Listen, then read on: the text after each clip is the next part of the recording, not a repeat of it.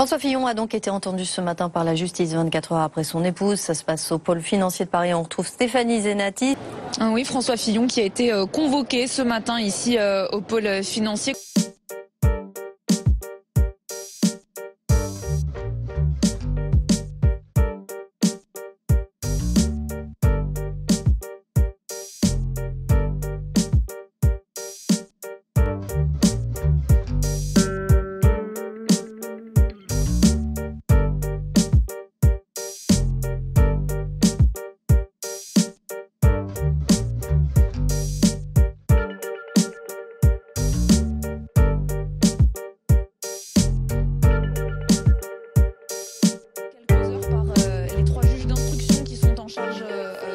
Euh, l'affaire, euh, dans le cadre toujours